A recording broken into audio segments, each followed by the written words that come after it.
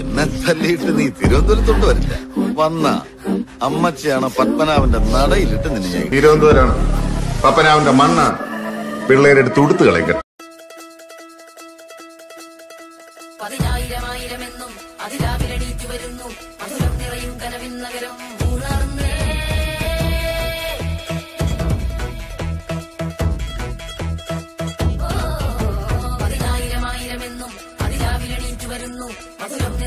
നിറയും കനവിൻ നഗരം മൂന്നാർന്നേ നീയോ